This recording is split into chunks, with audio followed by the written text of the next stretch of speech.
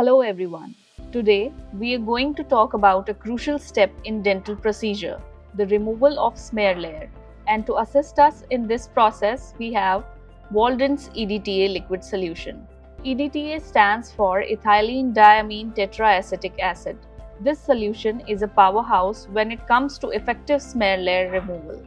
Thanks to its formulation containing 17% EDTA, but before we delve into its benefits, let's first understand what the smear layer is and why it needs to be removed. The smear layer is a thin film of debris that forms on the surface of tooth during dental procedures. It consists of inorganic and organic materials, including bacteria and their byproducts. The organic part is removed by irrigating the canals with sodium hypochlorite, and inorganic part is removed by EDTA.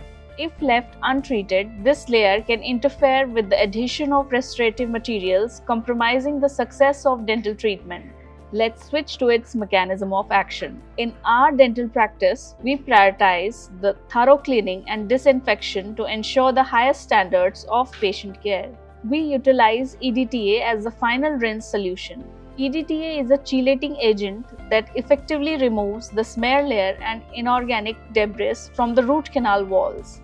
This final rinse with EDTA ensures the root canal system is thoroughly cleaned and prepared for obturation, enhancing the success rate of endodontic treatments.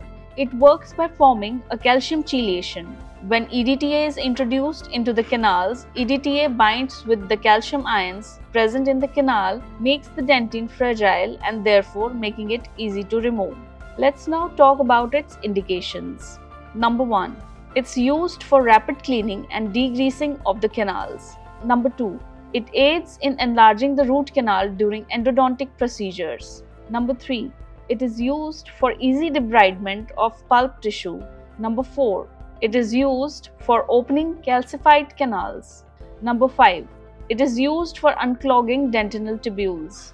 Now let me demonstrate how simple it is to incorporate Waldent's EDTA liquid solution into your dental procedures. Isolate the tooth by using a choice of separation technique. Proceed with an access opening and identify the canals. Fill the syringe with Waldent EDTA liquid and attach a side vented endodontic needle. Always check for a snug fit to prevent any leakage.